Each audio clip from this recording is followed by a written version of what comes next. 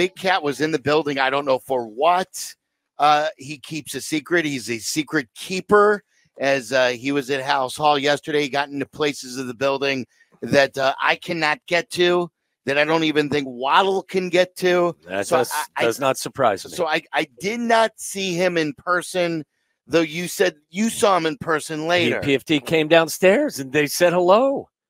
They came Said down here and was was was he made the effort to come down and say hi to us. Where was I? Yeah. Uh, you were Silvy, you were prancing around. You were prancing around in your little bla- uh, blue shirt. What do you mean in my little blue shirt? It was a skin tight shirt. I am fat. you got to days. size up. You're not. You're not. The, what are you wearing these days? Medium. You know, it's a, uh, it's a, it's a, it's a large. I feel like you've been toying with medium, and you're not a medium guy. I'm not. I'm. You are right. I am not a medium guy, but this is a large. All of Waddle, even uh, Waddle, check the, uh, check the sizing there. it Listen, says As as U someone twelve who's- L. yeah, U12L. It's a Y. As, Y twelve. as someone who's had to go up and down the scale on the shirts many times, you just gotta you gotta admit it sometimes. Like I've gone from a large to an XL to a double XL, back down to an XL, back to an X double XL. It's just it happens. You got to just be honest with yourself. It's a little too tight.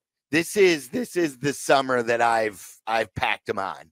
I have um eh, there's no shame and I'm just at this point I am not even worrying about it. Yesterday I was at the Green Day Smashing Pumpkins show and I just I I I, I didn't even hesitate and I took one of the one of the pizzas right back to my seat from from the I will- concession Okay. stands and just Like it. I drank and Did I you ate. sit down and eat it, or did you eat it standing up? I ate it standing up Okay. while, while yeah while uh, singing with the so spitting pizza toppings all over people around you. It was Yeah. a cheese though. Okay. I love it. So wait, you missed Hard Knocks? Uh, no, I watched it last night when I got home. Got it. Now I got a question for you, Waddle. Were Oh, you uh, one of the one of the people like myself who still has cable, who's been who's been told time and time again that we're old and we're so stupid for having cable, and then last night was our night because I All was just all- all- loving it. All all I know, Big Cat, is that at eight o'clock, Hard Knocks was on my television set. Yes. Yeah. Oh, that And, uh, was you know what I said? Suck it, streamers. yes, That's yes. what I said. it was honestly like I, I've been waiting for that moment forever, and I felt bad.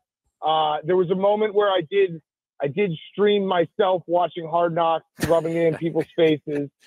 I then remembered that uh, Max is a sponsor of ours, so I had to delete that tweet. Yeah, but I was gonna say. uh, it was it, like years of being belittled by uh, people younger than me, saying you're crazy for still having cable. Who still has cable?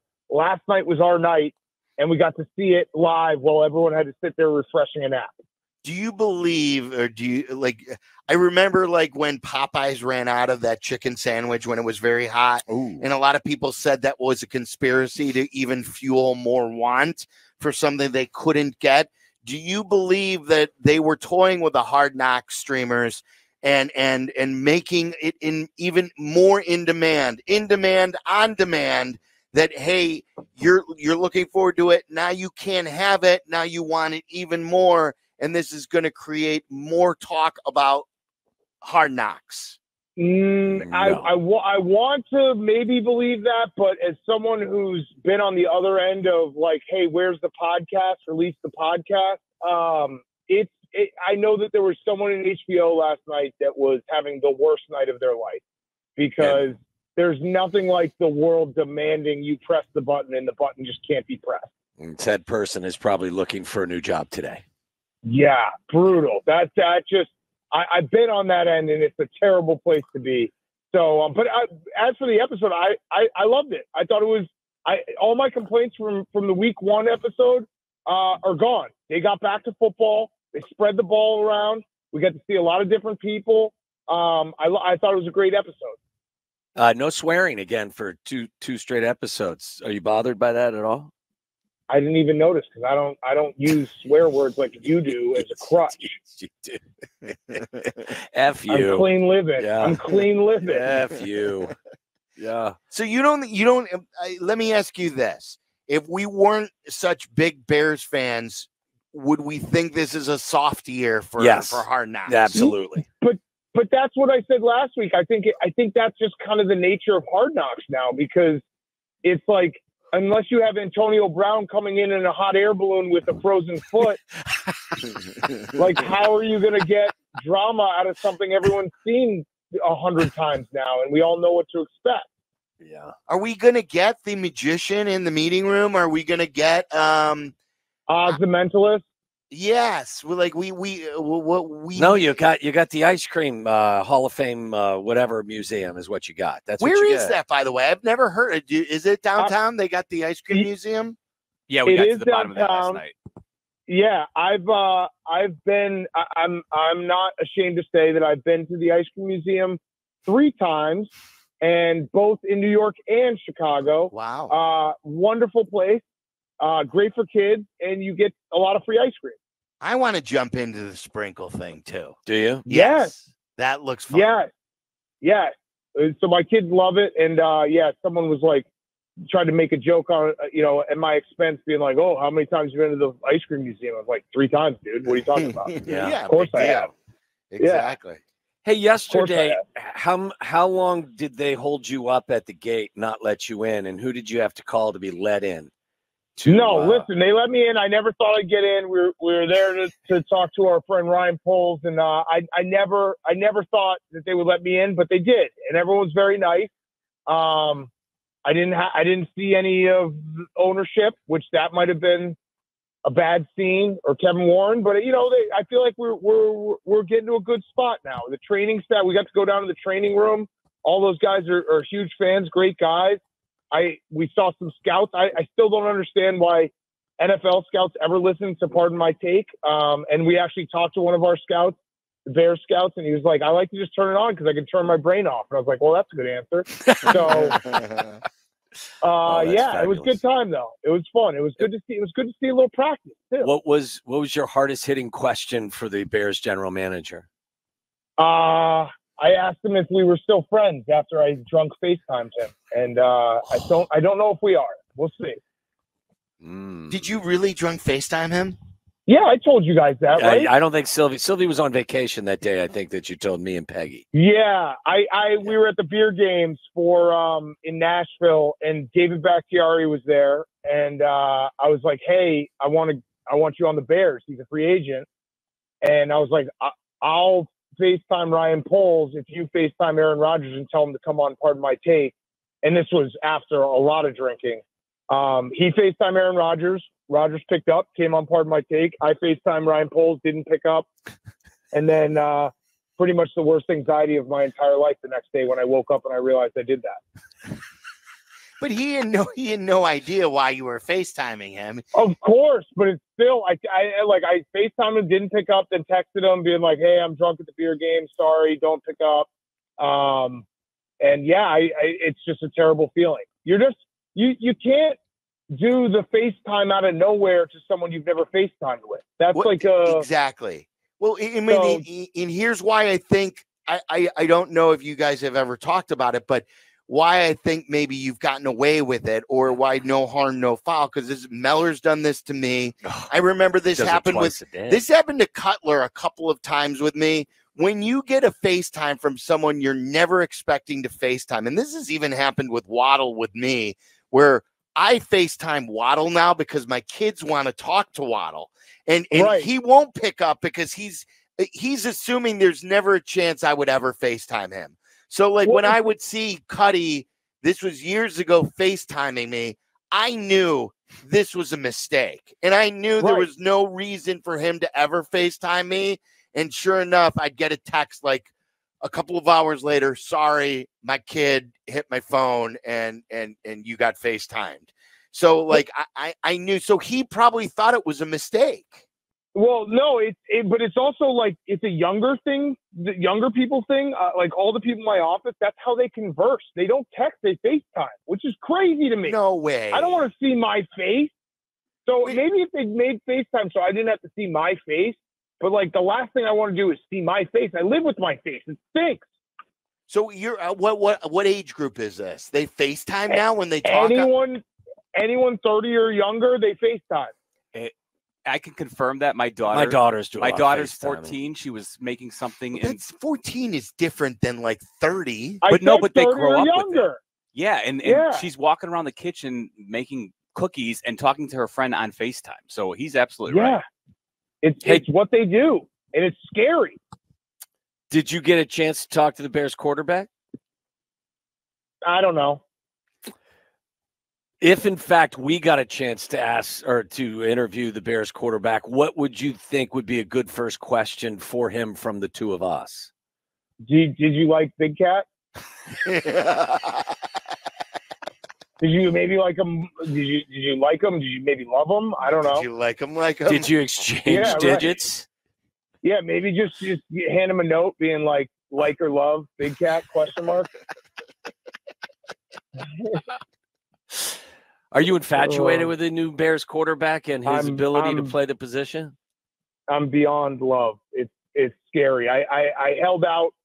I, the the game on Sunday was Saturday. Saturday. Saturday. Uh, all the days blend together for me. I was trying to be emotionally mature and and and put into perspective that it was a preseason game. And I lasted about an hour, which is by far the longest I've ever lasted in my entire life. I'm usually like five minutes tops. And I uh, then just lost it, and I was like, "He's the best ever. I love him so much." So well, Yurko, by the way, gave him a B minus C plus for Oh, his effort. Yurko's a hater. He's just got to get something to talk about. I love Yurko, but you tell him to go back to Pinehurst. Uh, don't you don't have to tell him. He Yeah. will. Give him a few extra Yeah. days off, and he'll be there. That's for sure. I thought he was great. I mean, listen, the the the real thing, and the, I don't know if you guys had this moment. I felt so stupid watching Caleb Williams go through his progressions, look at the whole field, make a, a throw on the run, make a screen pass with a hand in his face, and I felt so stupid thinking back to the fact that I convinced myself Justin Fields and Mitch Trubisky were that because they weren't. They never were. You know what I mean? I know that it's, it's one preseason game, but just the way he was composed in the pocket just felt different than what we've had the last two guys around. Maybe you should take our advice every now and again, then, because we have been on the record telling you that you should have been more skeptical of both of the guys you mentioned back in the day. Why don't you listen to us? But I, I because I, what, what do you mean? I got to go through the whole process. But but I And don't understand. pretend that we didn't do this with Justin last year Oh, when we no, tried to tell stop. ourselves. Stop. Yes, we did. No, we Silvy did did. not.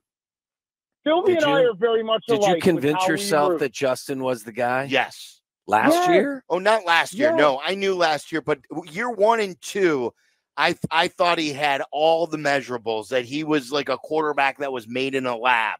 That he was. And he then was you watched strong, He was camp fast. last He had the arm. And then last year, I just there was something not computing between the lines. Smart Yeah. guy who, when he got on the field, it just didn't compute.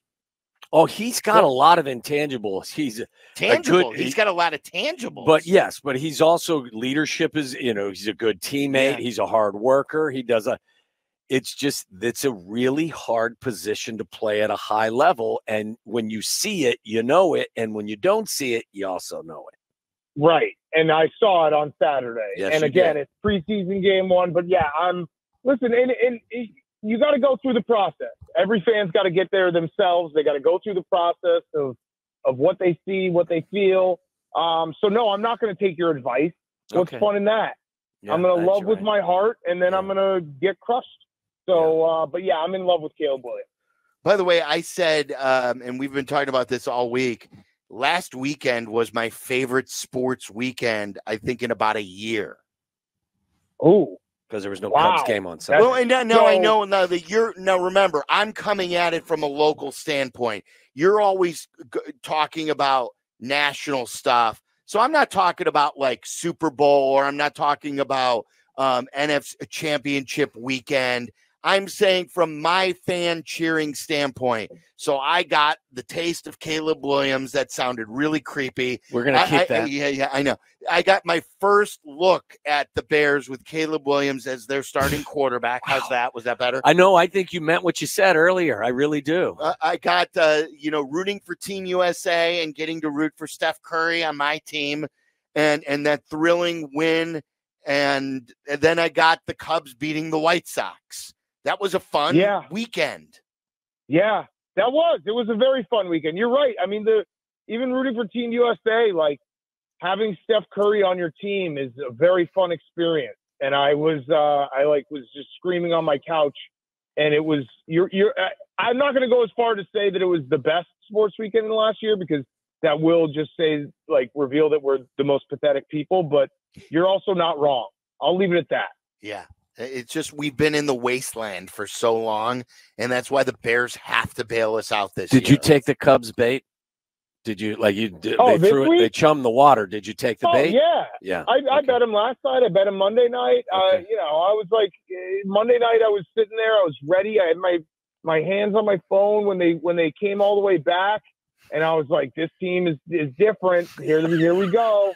this team is different. Don't make it sound like they're Caleb Williams now. You just said but I Caleb's different. Now you're saying this I- Cubs team's different. I just want them. I just want them to be within a game or two in September, and it's just not going to happen. I just don't think they can get. I mean, like the Guardians are really good, um, but I, we said this last week. Like I've just been every week. I don't think it's going to happen, but I just keep telling myself, like, what if they just rip off a few wins here? What if they rip off five in a row? What if they rip off, you know, they, they go they go seven and one in a stretch, and it's just never going to happen. What what it, have you thought that if you were even more generous with your participation in the 50-50 raffle that it makes it more likely that the Cubs would pursue Juan Soto? Doesn't the 50, 50 goes to me, 50 goes to charity? Well, but they could that means they don't have to give any any of their own money to charity because you're actually sponsoring the charity on your own because you're giving them so much money. True. Yeah, I mean uh, Juan Soto. Wait, did is he a free agent? Yeah, he Yes. is. Yeah, right? yeah. Yeah. Yeah. I, I, he's he's one of those guys that switched teams so many times in the last like 24 months that I like can't keep track of where he's at. You know, in his contract. He's like, wait, the Yankees must have given him a new deal, and they didn't. Mm. No. So yeah, He's going to cost five hundred million. Five hundred million. Fine. Great. I'm with do you. it. Bring back Schwarber too. Yeah. Oh, we wish. We wish. Uh, I, I was saying we we were reading the Sportico, um, uh, uh, how much like the Cubs are worth and everything. And 5.6 billion. five point six billion. I Hey, Big that's what it Cat. was. I was sitting inside Wrigley yesterday for pumpkins and and Green Day, and like they're making money hand over fist in that joint. I know.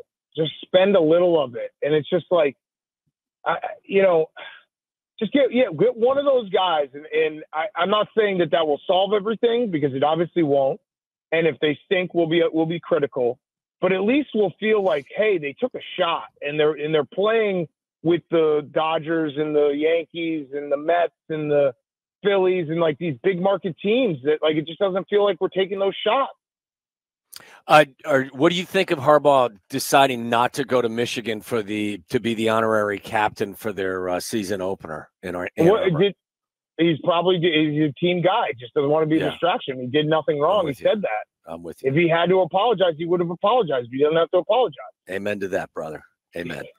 It's, uh, Love it. Ohio State fans are just they'll never let this go, which I I don't blame them whatsoever. I w- if I were on that side, I would do the same thing. Oh, But uh, it does feel like, hey, I don't know what you're chasing at this point. Like Harbaugh won, and and he's going to win in the, with the Chargers too, and so you're going to keep getting mad about something that's just never going to get fixed uh, to your liking. I'm upset because I really wanted. I wanted see, him to I be there, wanted too. to see him. Victory lap. Well, yes, take a victory lap in the big house. I wanted him to be in the back of a of, of like a convertible car Oh, it and just waving as they drove him around in circles inside the big house and not just one victory lap, a couple. Uh, for an hour. I know it would have been great. It would have been so great because it would have made people so so upset. Oh yes, it would have been delicious. You go. Yeah. You're you're not taking any of your kids to the game this weekend, are you? I was going to, but I got to go to the. I, we we did a Stella Blue uh, coffee golden mug thing where I'm going to the Cubs game on Saturday with some fans. So that that would Oh. be fun. But I would have. Otherwise, I would have. I, how many? How long is Caleb playing for? Do we know? We don't know, and and there there's may some not. fear that they may not play at all. The starters. What? Yeah, isn't that weird? You just fell out of love with Caleb, didn't you? Well, it's not Caleb's fault. Well, if Well, he wanted to play, he could play. See, there you go. I told you. I He's mean, got veto power. Big Big Cat's a very emotional guy. Like, I mean, he can fall in and out of love quickly with athletes. Yeah, I, I might have to bump him down a, a spot if he doesn't play. Wait, why would they not play the starters at all? Just we'll save him for week three. Save him for the big Chiefs game. Yeah.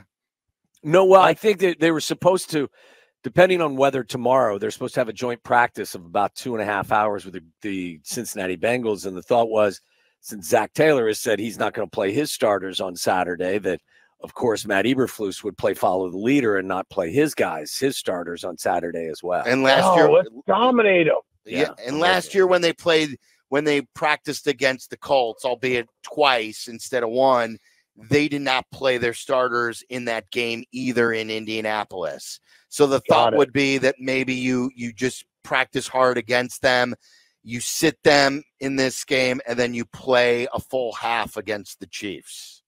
Got it. Did you guys see what Jim Irsay gifted us? No, what I did he? saw I saw that letter, and then the, the this is the uh, the participation flag.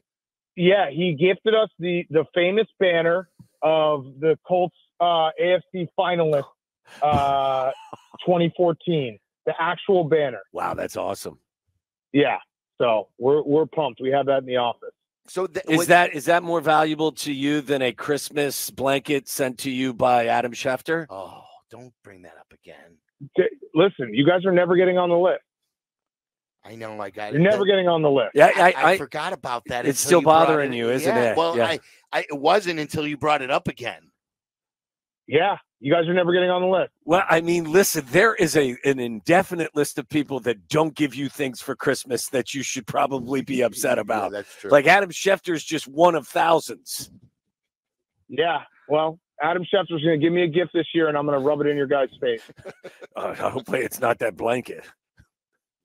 Well, it Considering might be a what new you told blanket. me you were using it for, Yeah. Well, rub I- that in listen, our I- face. what I use my blankets for, none of your business. That's fine, but don't rub your blanket in our face after you do that. You're so Yeah. I'm going to. I'm going to. Um, I gotta go. I'm picking up. I'm picking All up my uh, son and wife from the train station. You're getting. You're giving us. I gotta Yeah. go. Yeah, I gotta go. I gotta go. I haven't seen my son in. Five This is what days. Harbaugh used to do to us. You guys done with me? Yeah. This has been Yeah. great. See you, yeah. big cat. Yeah, Okay, bye. I bye. love you guys. Yeah, All back right, bye. at you. Picking, picking them up at the train. He That's a, such a lie. No, I It's don't. such I a bet lie. he is. No, he's picking up fast food from somewhere and he had to go inside and he's double parked. That's what he was doing. He's got a pizza coming out the door.